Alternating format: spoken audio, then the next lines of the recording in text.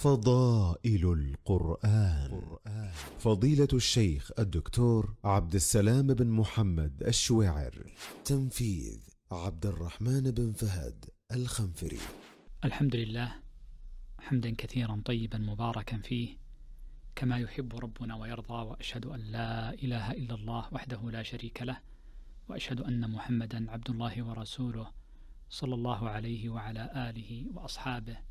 وسلم تسليما كثيرا إلى يوم الدين. أما بعد فإن من الآيات العظام في كتاب الله عز وجل خواتيم سورة البقرة التي أوحاها الله عز وجل لنبيه محمد صلى الله عليه وسلم ليلة المعراج. ثم نزل بها ملك على النبي صلى الله عليه وسلم لم ينزل قبلها إلى الدنيا. وفتح لها باب من السماء لم يفتح قبلها قط. خص الله عز وجل بهذه الآي محمدا صلى الله عليه وسلم وأمته وامتن الله عليهم بها لذا استبشر الصحابة رضوان الله عليهم بنزولها وفرحوا بها. أثنى الله عز وجل فيها على نبيه والمؤمنين وخفف عنهم من الآصار والأغلال التي كانت على من كان قبلهم. وجمع الله عز وجل في هاتين الآيتين مضمون سورة البقرة التي هي من أعظم سور القرآن وهي أطول سوره. وقد تضمنت هاتان الآيتان حقائق الدين وقواعد الإيمان والرد على كل مبطل. وتضمنت كمال نعم الله عز وجل على نبيه محمد صلى الله عليه وسلم وأمته. وتضمنت امتنان الله سبحانه وتعالى بمحبته لهم وتفضيله إياهم على من سواهم. وقد سبق ذكر بعض فضائل هاتين الآيتين في صفة نزولها وما اختصت به. ومن فضائلهما أيضا أعني خواتيم البقرة أن هاتين الآيتين من كنز تحت العرش. وقد ورد في ذلك أكثر من حديث عن النبي صلى الله عليه وسلم. فروى الإمام أحمد بإسناد صحيح. عن عقبة بن عامر الجهني رضي الله عنه قال سمعت رسول الله صلى الله عليه وسلم يقول على المنبر اقرأوا هاتين الآيتين اللتين من آخر سورة البقرة فإن ربي أعطانيهن من تحت العرش. وروى الإمام أحمد عن أبي ذر رضي الله عنه أن النبي صلى الله عليه وسلم قال أعطيت خواتيم سورة البقرة من بيت كنز من تحت العرش لم يعطهن نبي قبلي وروى الإمام أحمد والنسائي في السنن الكبرى واللفظ له.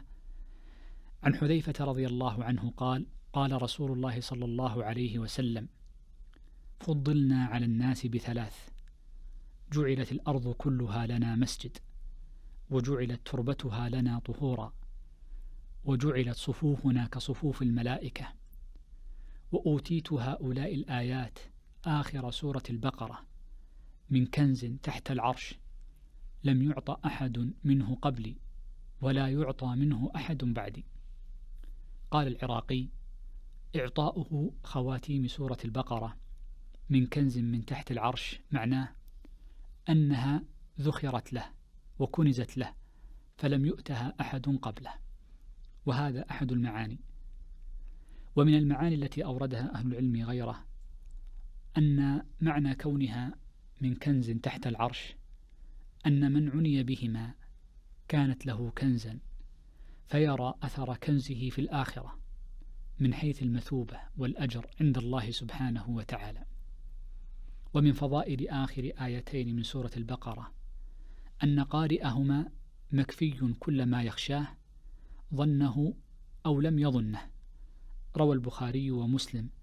عن أبي مسعود البدري رضي الله عنه قال قال رسول الله صلى الله عليه وسلم الآيتان من آخر سورة البقرة من قرأهما في ليلة كفتاه قول النبي صلى الله عليه وسلم في هذا الحديث كفتاه.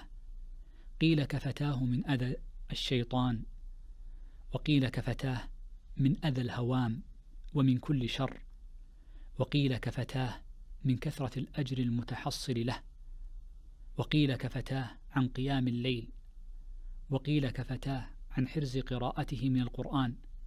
فتكون هاتان الآيتان أقل ما يقرأ في الليل.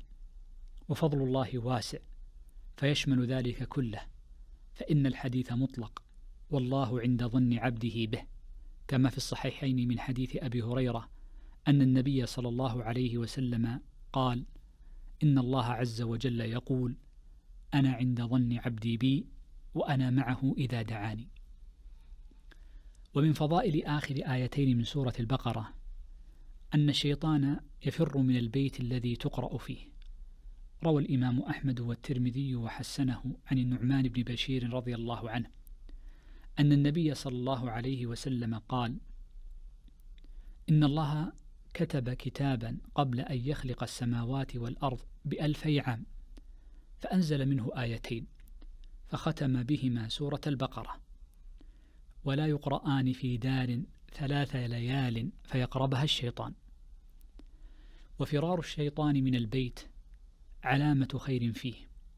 إذ بحضور الشيطان يكون الغضب والخصومة بين أهل البيت وبحضوره يكون النوم عن الصلاة والظلم للنفس وفقد البركة في المال والأهل والولد.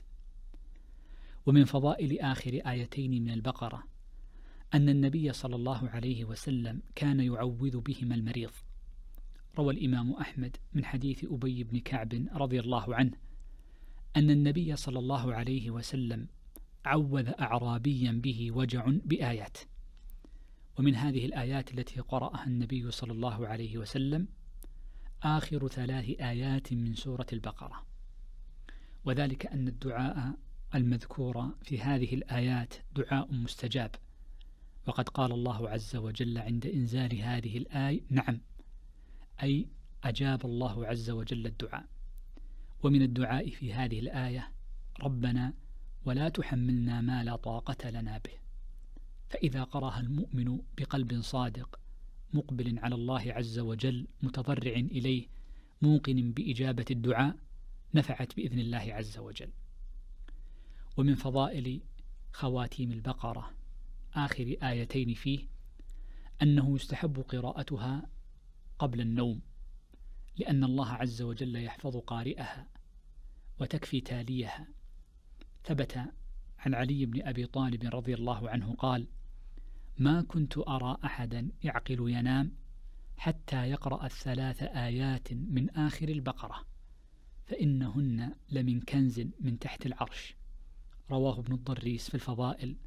قال النووي على شرط الشيخين. ولهذه الفضائل وغيرها كان الصحابة رضوان الله عليهم يكثرون من قراءة هذه الآيات في الصلاة وخارجها. روى إبراهيم النخعي عن عبد الله بن مسعود رضي الله عنه أنه كان يقرأ في الركعة الأخيرة في الفجر بآخر البقرة وآخر آل عمران. اللهم اجعلنا من أهل القرآن الذين هم أهلك وخاصتك. واغفر لنا ذنوبنا وارحم ضعفنا واستر عوراتنا واجمعنا بنبيك صلى الله عليه وسلم في جنات النعيم. وارزقنا تلاوة القرآن آناء الليل وأطراف النهار على الوجه الذي يرضيك عنا. وصلى الله وسلم وبارك على نبينا ورسولنا محمد وعلى آله وصحبه أجمعين. فضائل القرآن. فضيلة الشيخ الدكتور عبد السلام بن محمد الشويعر. تنفيذ عبد الرحمن بن فهد الخنفري.